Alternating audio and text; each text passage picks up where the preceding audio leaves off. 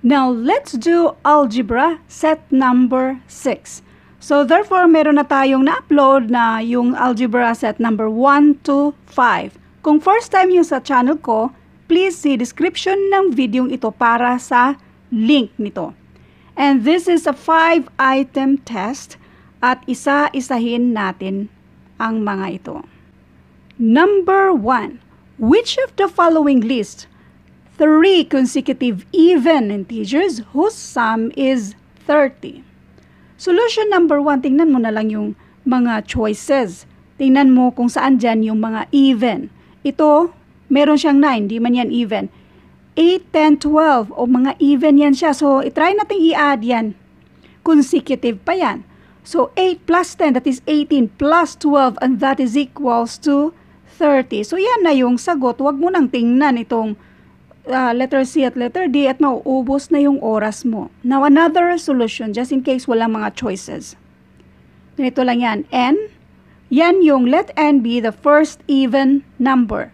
Then, N plus 2, yan yung next na even number mo. Then, N plus 4, and that is equals to 30. Kasi ang sum daw ay 30, kaya ipang-add mo yan.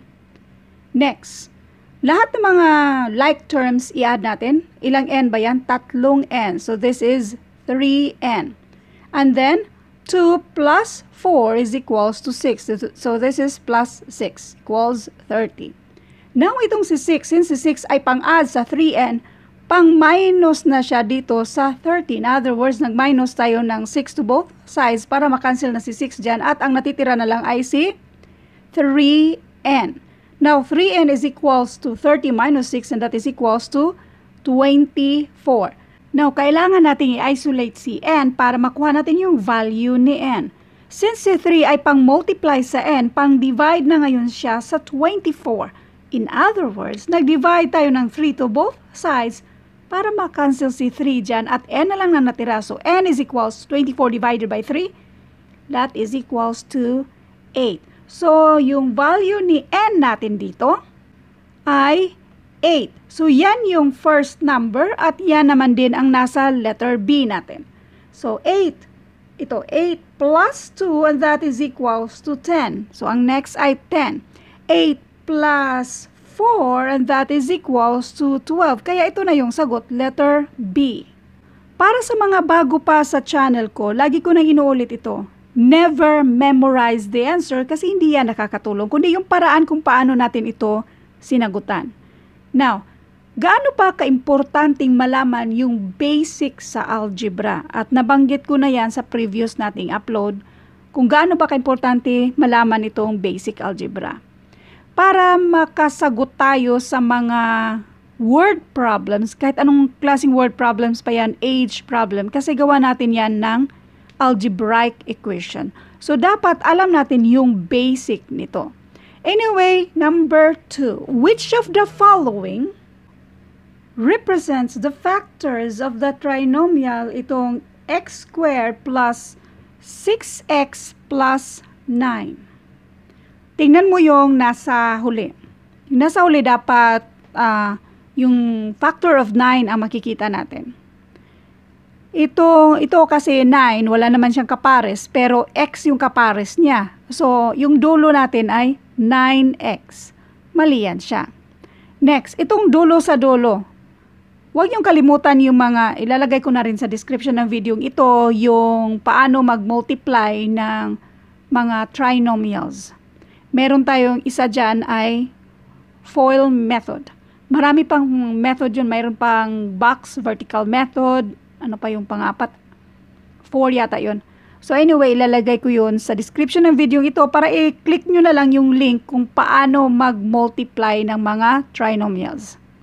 So now, 6 times 9, that is 54. 9 nga yan, hindi yan 54.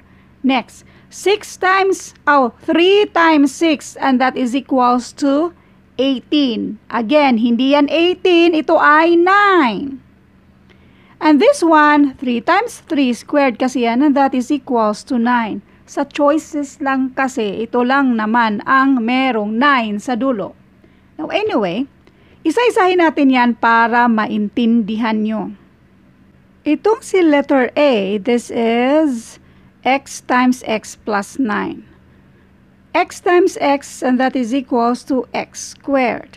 Next, x times 9 and that is equals to yung plus natin ay kopyahin lang 9x.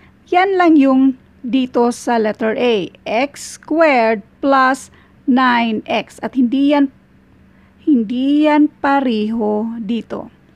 Next, letter B. Si letter B, gamitan natin ang FOIL method.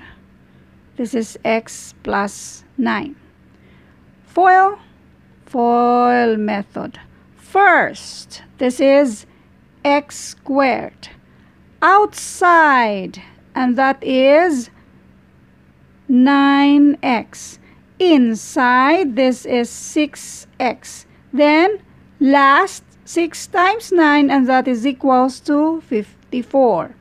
So this is x squared plus, i-add natin yan and that is equals to 15x plus 54.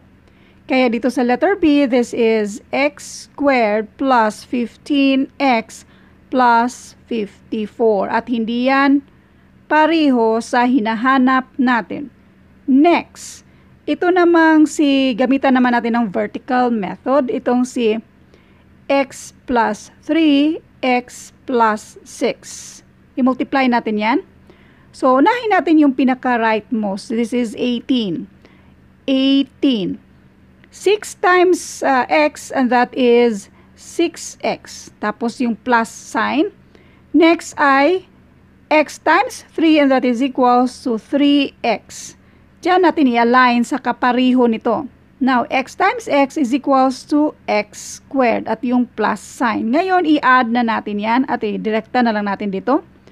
So, this is equals to x squared plus 6x plus 3x and that is equals to 9x plus itong 18. So, hindi pa rin siya pareho.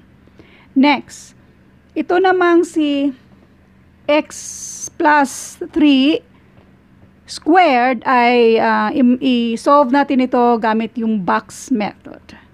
Box method. Okay.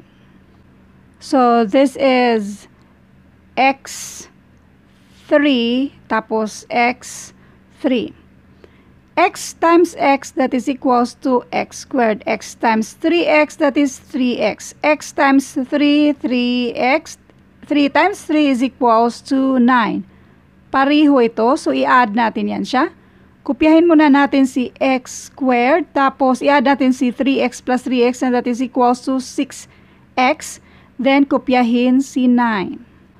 So, obviously, ang sagot dito ay itong letter D. Parihong pariho dito. Next, number 3.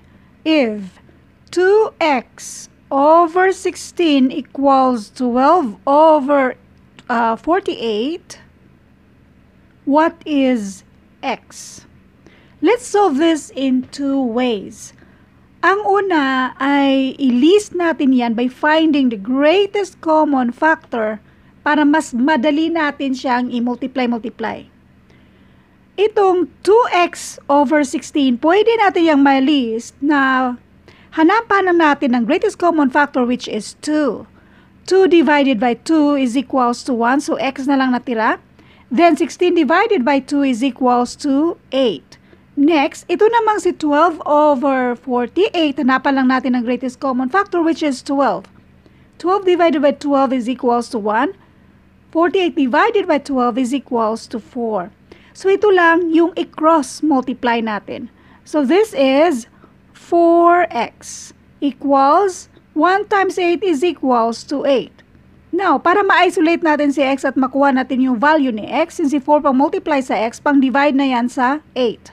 Or nag-divide tayo ng 4 to both sides para ma-isolate ma natin si x. Now, x is equals to 8 divided by 4. Mas madali lang. 8 divided by 4 is equals to 2. Kaya ang sagot dito ay 2. Now, i-compare nyo ito sa ating solution number 2 na i-keep lang natin itong mismong 2x over 16 equals 12 over 48. mag-cross multiply din tayo niyan. Now, 48 times 2x and that is equals to 96x. Now, 16 times 12, kung, kung gusto nyong i-multiply ito, this is equals to 192. Now, i-isolate natin si x. Since si 96 ay pang-multiply sa x, pang-divide na ngayon siya dito sa 192. Or mag-divide tayo ng 96 to both sides para ma-cancel siya dyan at isolate na si x. Now, x is equals to 192 divided by 96. Buti na lang ay obvious naman itong equals to 2 kasi dalawang 96 that is equals to 192.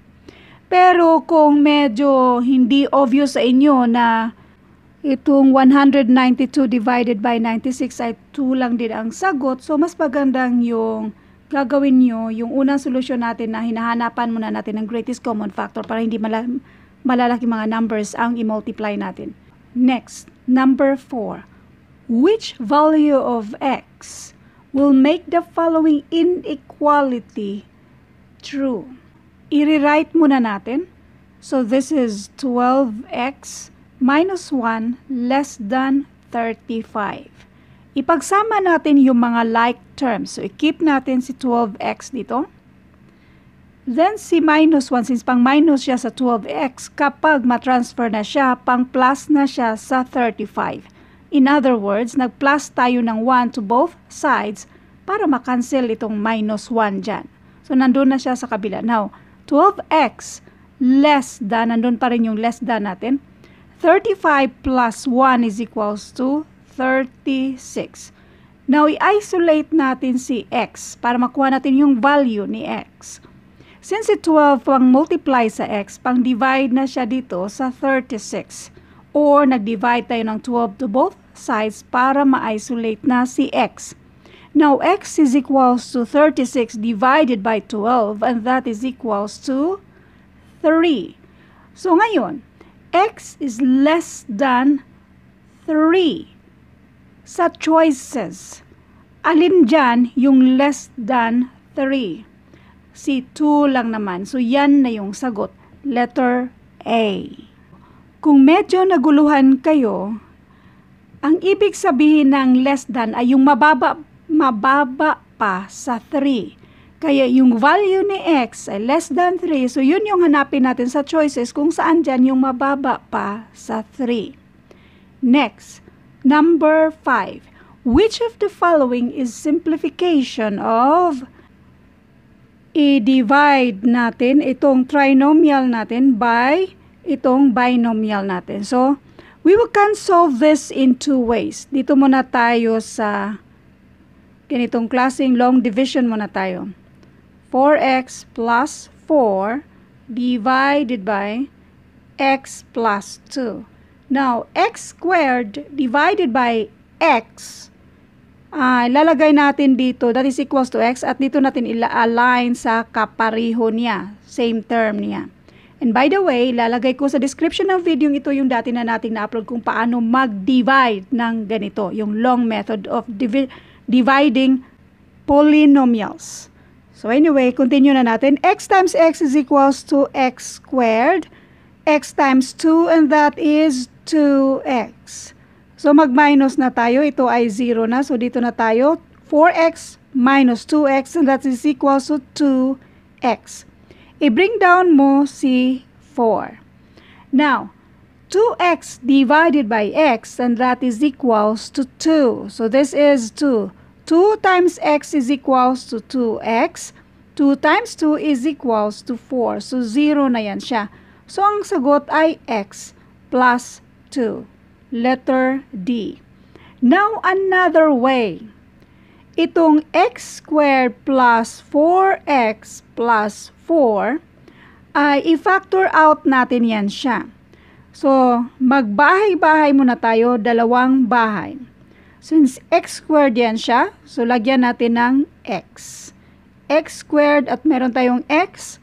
So, kada bahay natin ay merong x. Since positive lang yan lahat, puro plus din tayo dito. Now, Hanapan natin ng mga factors itong 4 na ito in such a way na kung i-add siya ay 4 lang din. Obviously, 2 yan siya. So therefore, kung i-factor out natin itong trinomial natin and that is 2x plus 2, nasa loob ng parenthesis, i-multiply din sa 2x plus 2. Now, i-divide natin, divided by x plus 2. Since uh, pwede mo namang i-cancel yan siya, so ang natitira mo na lang ay itong x plus 2. Thank you for watching at kung bago kayo sa channel ko, ito yung FB natin at ito naman yung FB group na pwede kayong mag-post dyan kung ano yung pat, ah, pasagutan nyo at marami tayong mga FB members na happy sagutan yung mga tanong ninyo or pwede kayong mag-share sa mga reviewers nyo. At ito naman yung ana, ah, another FB group na lagi nating tinatambayan. At ito ang mga FB pages natin na posibleng makatulong sa inyo. Now, I know I can never please everybody, pero ginawa ko po ang videong ito ng may pagmamahal. And I'm so thankful sa lahat ng mga mahilig mag-likes at yung lalong-lalo na yung mga mahilig mag-iwan ng mga magagandang komento nila. Thank you and God bless.